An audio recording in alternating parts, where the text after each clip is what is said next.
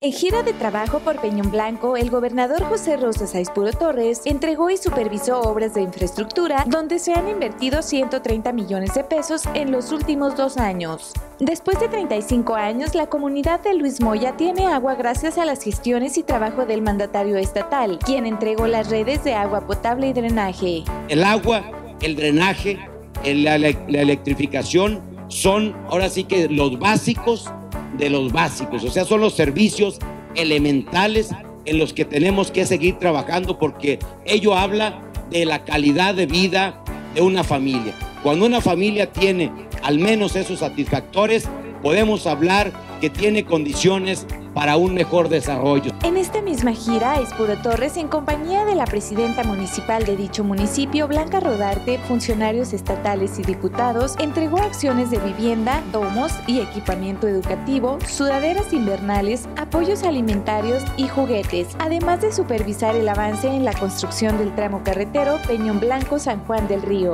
Por su parte, la alcaldesa expresó su gratitud a este gobierno. Sé que con las acciones que usted ha hecho está siempre presente en Peñón Blanco.